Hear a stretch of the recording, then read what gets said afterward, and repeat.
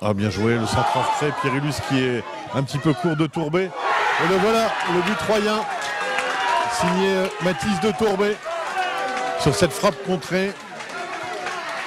On va revoir ce qui, ce qui s'est passé. J'ai l'impression que, que le gardien, euh, il peut pas faire grand chose, hein, Zago. À mon, à mon avis, elle a été, elle a été, cette frappe a été détournée. Bien joué pour Ivan Titi en retrait. Et c'est magnifique. Et c'est Petrilus qui vient terminer ce qu'il n'avait pas réussi à faire en, en première période.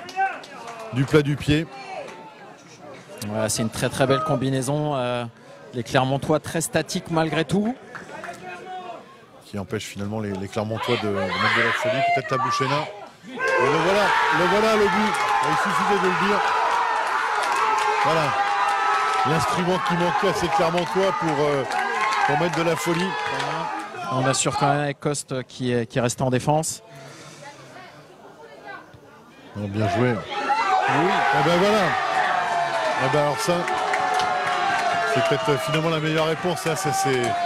Et là, on a vu euh, Mohamed Bouchena qui s'est écroulé dans la surface de réparation. Il se dit, mais attends, je viens de marquer un but. On revient et là, on encaisse un but derrière. But signé Florian Rambo-Guerra.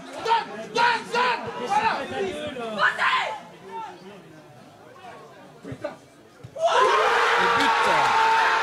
magnifique. le but, le but Clermontois. Le, le banc troyen qui est tendu. Un ballon dans la surface de réparation. Et c'est le poteau. C'est le poteau qui vient sauver Nkoumouk. Incroyable alors qu'on était à la, à la fin des arrêts de jeu et c'est fini. Et Incroyable. qualification de, de l'Estac 3 au bout du bout du bout du suspense. 3 buts à 2.